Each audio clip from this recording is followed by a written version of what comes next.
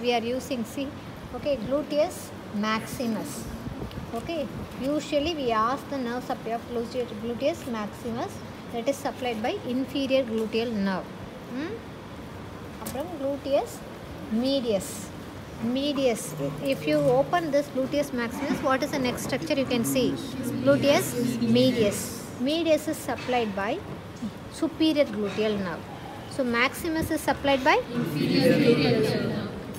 medius is supplied by superior gluteal nerve two structures over then the third nerve you can see one nerve is coming down that is your sciatic nerve sciatic nerve sciatic nerve root value is L4 L5 S1 S2 S3 L4 L5 S1 S2 S3 அப்புறம் sciatic nerve comes down and it divides into two branches one is tibial branch. Tibial. This is tibial. Another one is common peroneal. Tibial two branches. Look at the two branches. Okay tibial. This is tibial and this is called common, peroneal. which one is going laterally? Common common peroneal. so what is the bone uh, situated laterally? Fibula. So this common peroneal nerve only by- goes near the neck of the fibula and it divides into two branches okay so common peroneal is related to which bone? Fibula. Fibula. which part of the fibula? Neck of fibula. very good neck of the fibula. So this tibial straight away it goes back. Which compartment of leg is this? Posterior compartment of. Very good. So posterior compartment of leg is supplied by tibial nerve okay tibial okay and lateral. this is called lateral compartment. Lateral compartment of leg is supplied by common, common peroneal will be divided into two that i will tell you. Okay superficial peroneal and deep peroneal okay you know right? Mm. ah good. Appa superficial peroneal you know. Deep peroneal you know. Deep peroneal goes to which compartment? Anterior compartment. appa superficial peroneal goes to lateral, compartment. compartment. Very good. So today's topic is this posterior compartment of thigh. So shall we start? Mm. So you have to hold this, all the muscles. Ready? So I am holding all the muscles. First uh, I asked you to see the toe. Yes, then only you can see which side it belongs to. Okay, in the toe we have to search here. So this one. So this is which side? Lateral side or medial side?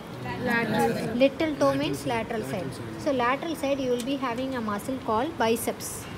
Biceps femoris. Mm-hmm. Biceps femoris.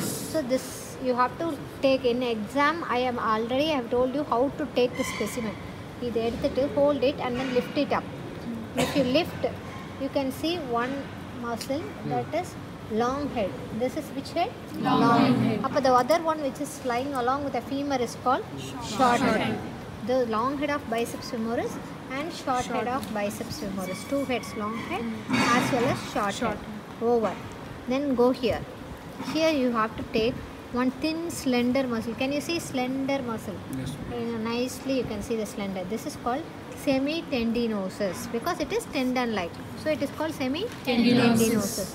Upper if this is semi tendinosus look at this. This looks like a membrane, membrane. so it is called semi semimembranosus. So this is semitendinosus and this is semimembranosus. Reflect this too.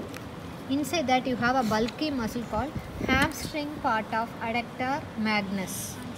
Because adductor magnus has how many parts? Two parts. One is called adductor compartment part, another one is called hamstring part. Hamstring means all these muscles together it is called as hamstring. hamstring. In the muscle element it is called as hamstring. Repeat again. Number one is biceps. This is long head and this is short head. Semimembranosus. Semimembranosus. Hamstring part of adductor. Okay, right. Okay, all these muscles, hamstring muscles are supplied by tibial, tibial component of sciatic, tibial component of sciatic, except the short head of biceps femoris is supplied by common Common peroneal peroneal. part. This is what we want in your exam. Okay, repeat again. All these muscles are supplied by tibial component, except Short head of biceps femoris. which is supplied by Common peroneal. That's it